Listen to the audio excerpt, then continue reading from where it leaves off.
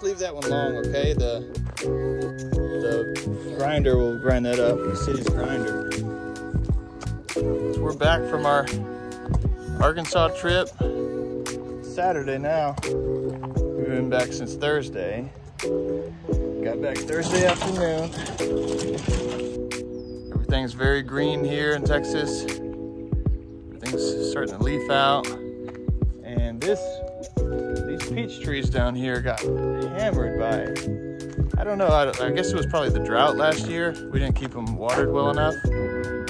And they just, they got hurt by it. I had to hack a lot of this one. So much hacking. The tree has totally kind of lost its shape. And this native plum down here, I forget what type of plum it is, but it, it is like two thirds dead. You gotta cut two thirds of these big branches off. You wanna cut that other branch off too, Otis? This one's all dead. No, not, this was the only one living. Cut, cut that one off. There we go. Otis. Been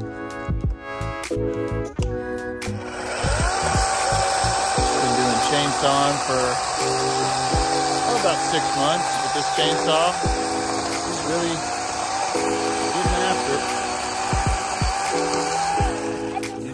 Kid, so. Oh, it's just now starting to rain.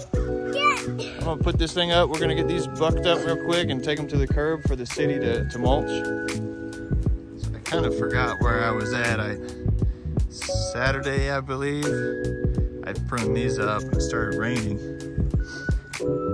And so we ended up having to shut that down. I've still got to do a bit of pruning on these trees over here. But I got that fig pruned up pretty well. It's a nice bush. There goes Mama and Otis and Hugo to the park. So we've got an apricot tree here that had a couple more main trunks, but it half the tree we had to cut out last year.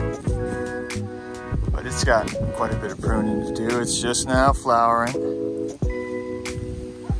And we got this mimosa volunteer right next to it. I thought it looked really pretty, so we kept it. And these figs, I'm gonna start pruning it all.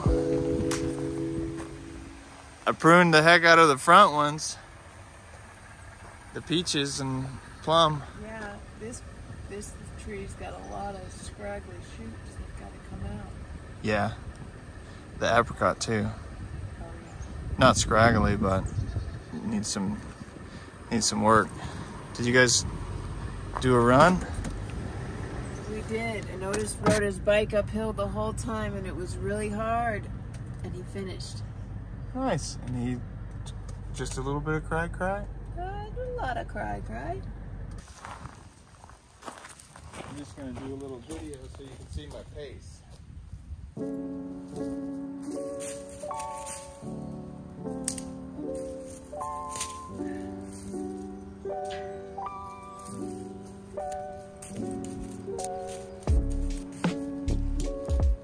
This, this right here would actually be a good tree. I don't see any nematode damage. We have a problem with root knot nematode here. I think I'm gonna save this for my buddy. I'm gonna put it in my water.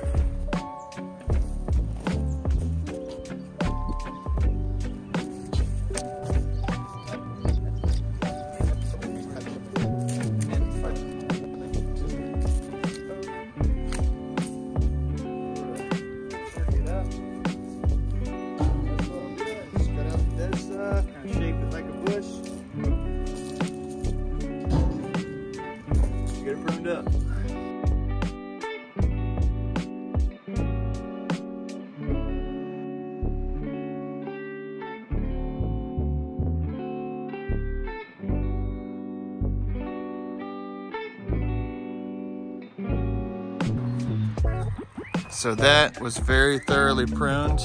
You can see all the wood I took off of it. Most of it was dead.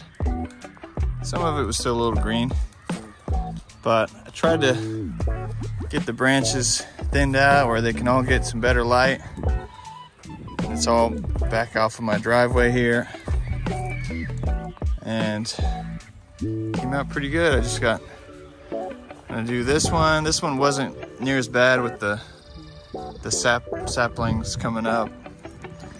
And then that apricot needs a bit pruned off of it. Any crossing branches. A Couple more to do. But that's what I was gonna show. Here goes first steak. What is this, New York strip? Got him a big piece to chew on and he likes it. He likes it a lot. He's sucking out the juices. Hey.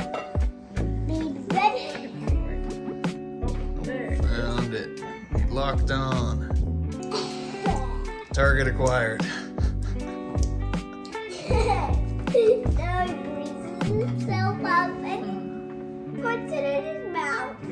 Good morning, G here. It is the day before spring and we're gonna do some spring cleanup, early spring cleanup. Well, whenever we were been farming, we didn't have a lot of time to do, to keep things clean and organized. So we end up with piles like this. All good materials, but not good enough to keep if you're gonna sell your property. And I've got some other stuff around here, some deck, deck materials. I've got the stakes that I use for the concrete path. And I hate throwing stuff like that away. It's good, you can reuse it, but it's gotta get going.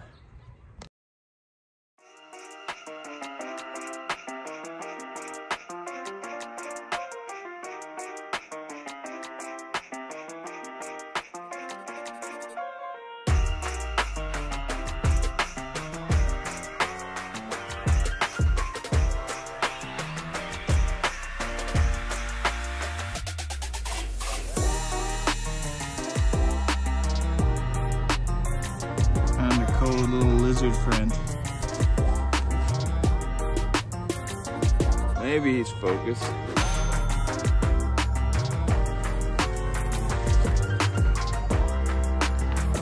I'm gonna set him over here so he can warm up in the sun.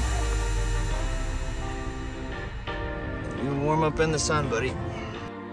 So the reason I set everything out front was because my neighbor was gonna want some of this stuff. So I, I just moved it out there so he could see it.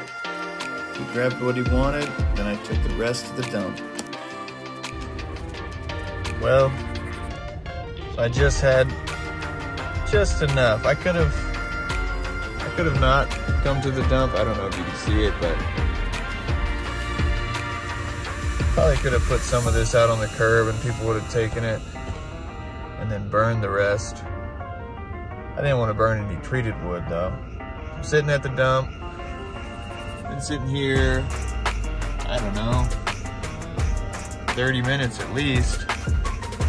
And they've been lollygagging with this machine trying to push push things over. He's just he's going on slow mode for sure. I hate waiting. Waiting to dump.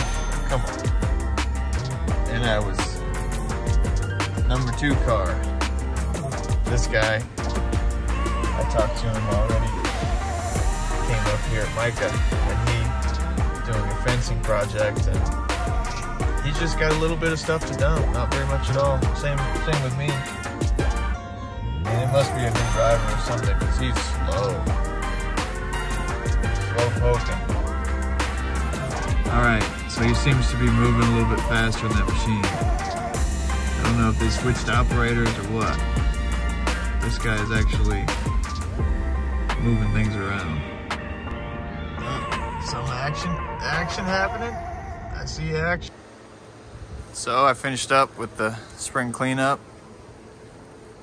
Found this metal. Otis helped me clean off the metal.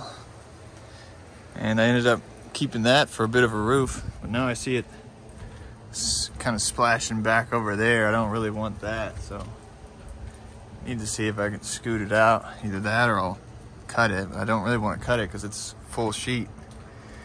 A full sheet, about five feet long. So I'll see if I can skip it over one and that'll probably quit happening. Also put down mulch over here for the for the drips. It was getting a bunch of splashback. But that mulch is gonna help it stay nice and intact. Got all kinds of stuff going on. Did the same on this side. Got my fruit trees all pruned up. And I don't know if I need to, I'm trying to sell this firewood. Nobody's wanting it. It's already late March, so. But yeah, this, this project's all done. Got the extra stuff taken to the dump and I took all the metal to the metal recycling there in Fulton's in Denton. On to the next thing. I just just cleaned out the gutters, cleaned out the AC, uh, the outside unit, making good progress.